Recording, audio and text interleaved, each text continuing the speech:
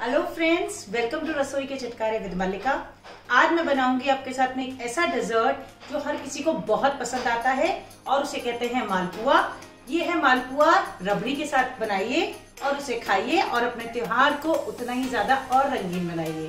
चलिए बनाए मालपुआ रबड़ी के साथ। मालपुआ बनाने के लिए सबसे पहले हम इसके लिए एक चाशनी बनाएँगे। एक गिलास पानी डाल दीजिए। इसमें डाल देंगे एक बाउल चीनी। और इसको मेल्ट होने देते हैं। चाशनी जब तक हमारी तैयार हो रही है, एक तरफ़ हम अपनी रबड़ी भी चढ़ा देंगे। रबड़ी के लिए डाल दीजिए दो ग्लास दूध। ये मैंने मलाई के साथ डाला है, उसका स्वाद उतना ही और अच्छा आता है। मालपुई घोल के लिए एक बाउल आटा ले लीजिए। उसमें डाल दीजिए थोड़ी सी इलायची। इसको हम दूध की मदद से गोल बना के रेडी करेंगे। इसमें मैंने मलाई वाला दूध लिया है। इससे उसका टेस्ट और भी ज़्यादा बढ़ के आता है। इसको हमें उस लेवल तक गोल बनाना है, जहाँ तक कि इसमें एक भी गुठली ना रहे। एक बाउल आटे में लगभग मेरा एक ग्लास दूध लग गया है।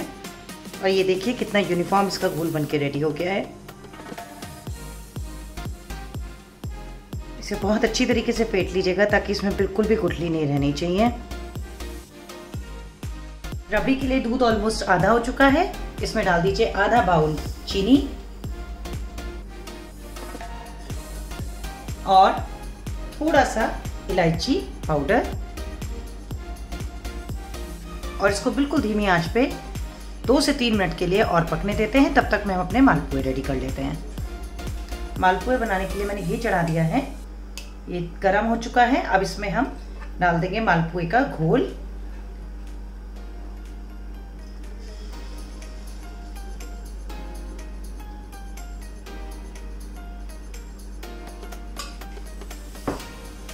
मालपुए हमेशा देसी घी में बनाइए, बहुत अच्छा टेस्ट आता है। ये देखिए गोल्डन ब्राउन होने तक हम इन्हें अच्छी तरीके से फ्राई कर लेंगे पलट के।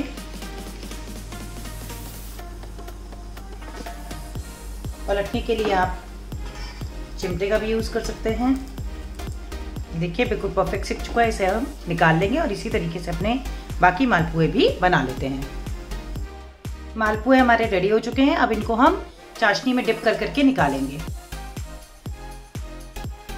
ये देखिए, इस तरीके से इन्हें डालिए।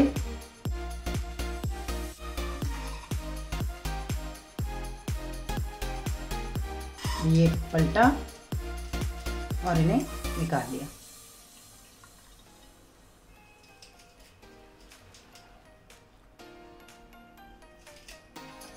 ये बहुत ही पतले पतले बनते हैं। उसी में इतना इनका टेस्ट बढ़ जाता है। इसी तरीके से सारे मालपुए निकाल लीजिए। मालपुए आपके तैयार हो चुके हैं। रबड़ी से सजा करके इनका स्वादिष्ट स्वाद का मज़ा लीजिए।